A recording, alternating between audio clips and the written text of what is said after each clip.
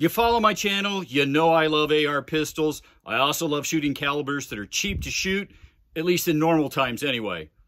I came across a 7.62 by 39 AR pistol from Radical Firearms. I had to give it a try. Normally, this is the cheapest rifle round that you can get other than 22 long rifle, and nobody argues the effectiveness of the 7.62 by 39.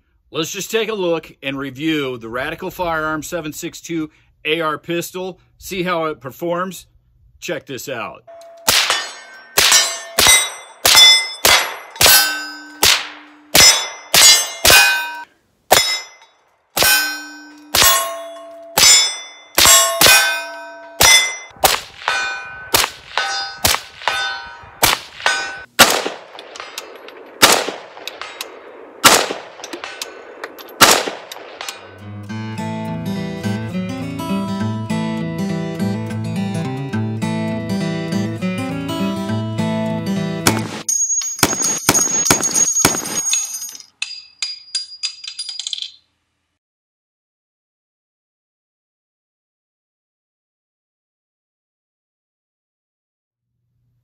I'm Drew Case. Welcome to Beyond Seclusion, where I only give you my honest opinion, and it is what it is. So this is how it arrived from Radical Firearms. Now, I'm going to need, obviously, to put an optic on it at the very least, but I think I might put a few other things on it, see how much fun we can have and how much we can up that fun factor. Now, before that, let's just take a look at the specs and tech, and then get it zeroed at 50 and go from there. Guys, I think we're going to have some fun with this.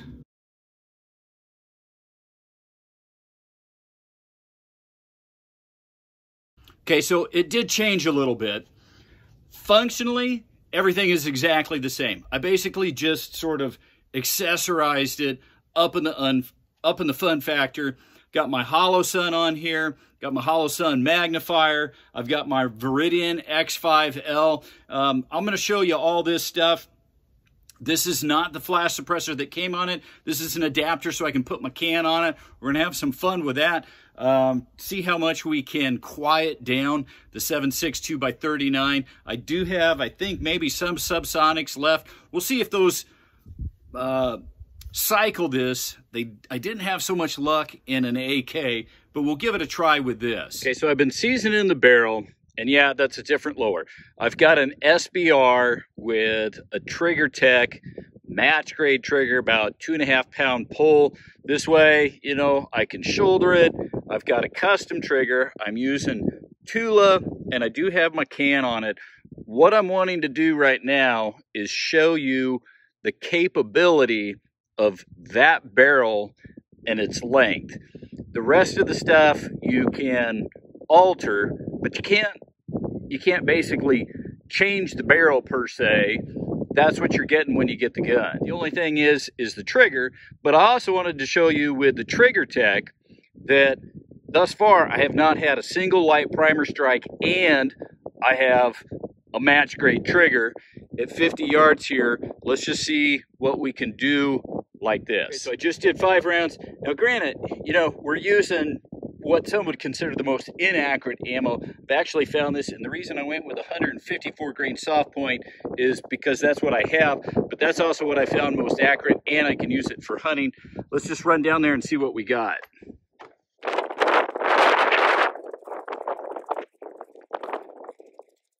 Okay, so this has basically been the sighting in process. I started um, with a few down here aiming up here, kind of started getting it up, then I was aiming here and I got these. Then I came over here and grouping up here. Now, I have been seasoning the barrel. Now, that might seem odd to some, you know, to season a 10 inch 7.62 by 39, you know, first shot, third shot, fifth shot, 10 shot, completely clean it, polish the barrel, lube it, and then come back. And doing that process changes the zero. And then usually this is about when it starts tightening up is about the fifth cleaning and polishing. And then that's what I got. And I was happy with that. So then I went and I did a five round group. I had one flyer, you know, there's three, nice. We're still breaking this in, but guys, that makes me happy for what I'm shooting. Now I want to go back. I'm going to put back on the lower that came with it so we can see what it's doing. The only thing is, is I'll have my can on it. And we're going to go back to the CQB range, finish breaking in the barrel, and then on another day that's not windy, I'm going to reach out at some distance, and then I'm going to come back maybe with a couple different ammo brands if I can find them, and we'll do kind of a final cleaning and see what we get for our final groups. Okay, so I got this zeroed at 50 yards. I was using a different lower because it had my trigger tech, match grade trigger. Wanted to test, make sure that that fired off. The 762 by 39 did not have one single light primer strike. Maximized our accuracy. We were getting some tight groups. Now I've got back on as it came, minus the can. Of course, it didn't come with the optics or the laser. Speaking of laser, Viridian X5L, I absolutely love this. I think I got it dialed in. Uh, the nice thing is, is once your optics dialed in, you just adjust this for the distance that you want. I've got the Tula that I've been using. Once I get transitioning, I get kind of crazy and uh, I want to make sure I have enough ammo. So what I'm going to do is I'm just going to use the laser here. We'll transition a little bit, fire off some rounds, and then I'm going to go to using the sight.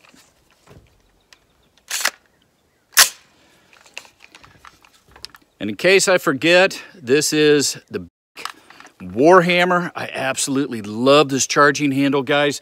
Uh, I've got it on several rifles, been using it for several years, and I, I, just love it. You know, the nice thing is, is especially when you have an optic up here, if it's in the way, you just grab both hands and pull. Anyway, let's have some fun with the laser here. Um, you can see I'm just using it from my side.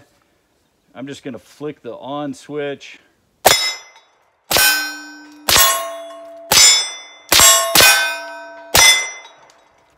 Go down there at 25, let's even go 50.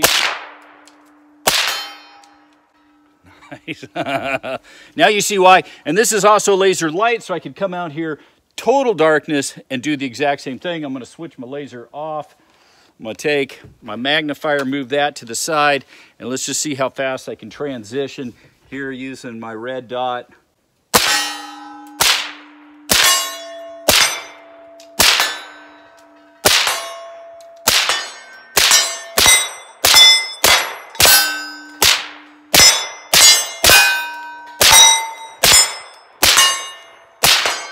That, that last one was 60 yards. Okay, this is the mag that came with it. I have not had one single issue with loading, you know, jamming, light primer strikes, nothing. Um, what I want to do now is wait for the wind to die down and then we're going to reach out and see how far we can go with distance. Real quick note too, anybody that's got ammo, I'm working on some sponsorships. I still don't have a sponsor. Uh, hopefully, maybe something soon, but anybody that produces 762 by 39, here's an opportunity to have it included in videos. Okay, another thing that I wanted to show you is a possibility, you know, with the lower or you know, if you've got a lower, you just get an upper and you can do all the same things. This is my SBR lower there. Um, I've got a Fostech Echo 2 trigger in here. I also like Franklin Armory. Um, either one, you know, I think they're both fabulous. Anyway, this is the mag that came with it. Let's just see what we can do here. And yeah, SBR, stock, shoulder.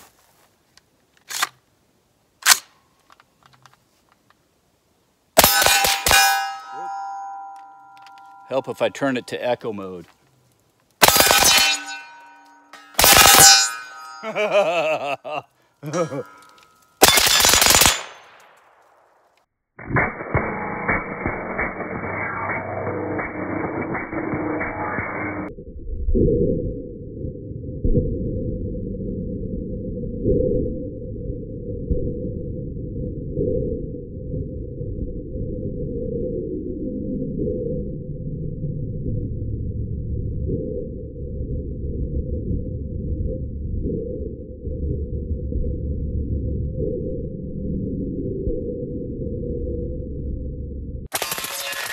Folks, if you're enjoying this review, do you follow my channel? Would you be willing to help support the channel if it costs you nothing, not a zip, zero?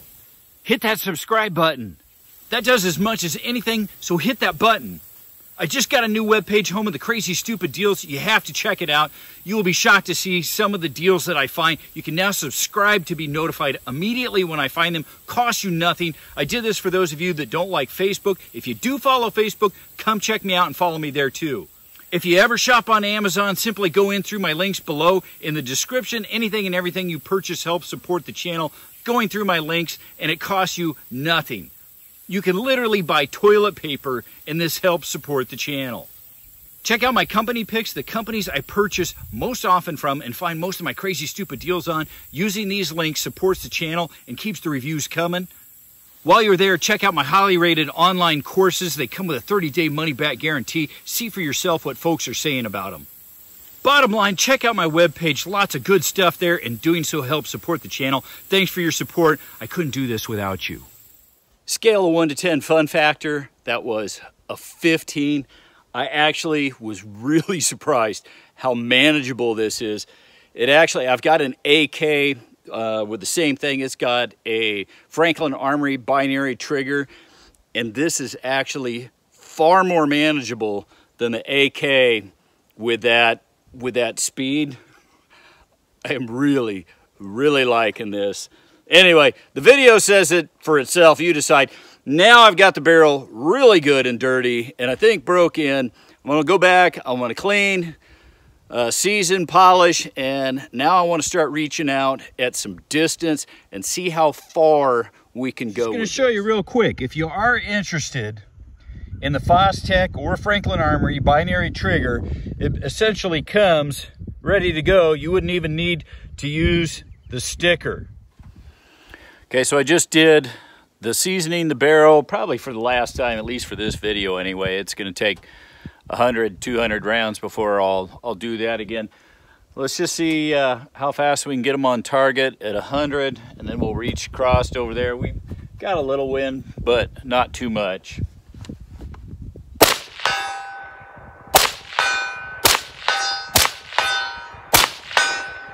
All right. I expected that. Let's try two. Okay, so I was getting ready to jump out to 200 and was missing the target. Wasn't really sure what was happening. So I came back here to 50 and for whatever reason, it was really low. I tightened up everything with this, checked on this. Um, didn't seem to make any difference and that's where we started. So I tried taking my can off and it started grouping really good. I don't have any baffle strikes or anything going on with the can that I can see. Um, but now I'm having feeding issues, but I was using different mags that didn't come with it. Um, so I'm going to switch back to the great big banana mag that came with it and see if that does anything. Okay, so I just nailed five on the 200 and I forgot to hit record. and then I started explaining it. With the can on there and shooting this Tula ammo, um, my BCG and everything got really dirty. It was providing resistance, and that's why I was having the failures to feed. So I went down, oiled it up, cleaned the BCG real quick, and I just nailed five, but I didn't, didn't hit record, so let's do that again, and then we'll reach up to 300 and see how that goes.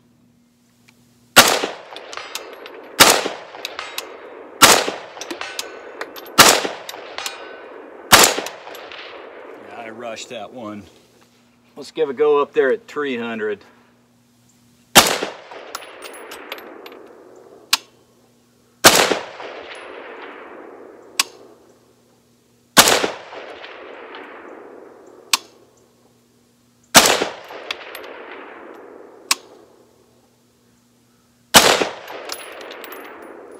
Nice.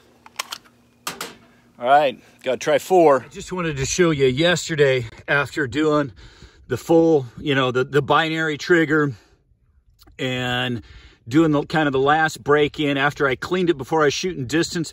That's what I got. Then I kind of had a few issues with shooting distance. And this morning, cold barrel, before I reached out, I just wanted to see how the zero was. that works. Okay, so last night I was doing some distance shooting. I thought I could hear the tings, but when I did the editing, not so sure. Um, I I upset the geese there. So anyway, I want to try again at 300 and see if I can get a solid ting. There we go.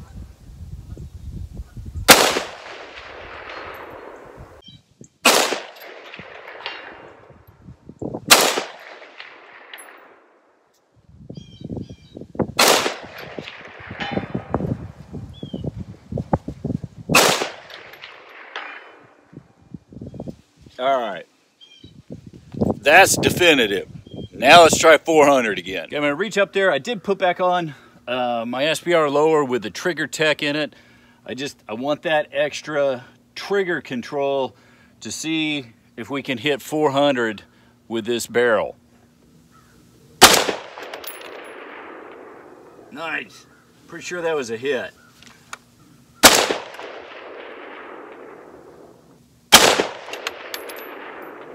Nice.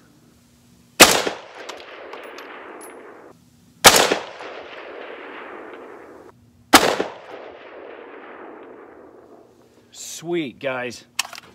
If I if I got that right, that was five or oh, five or six for six. Let's try five.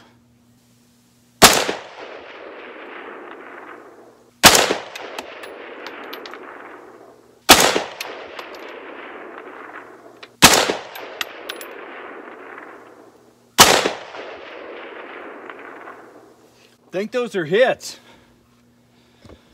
Have to go back on the editing um, and see. Sometimes the, the comeback on these, the reconnect is a little slow with the echo. But anyway, I don't know. It is what it is. You decide what you think.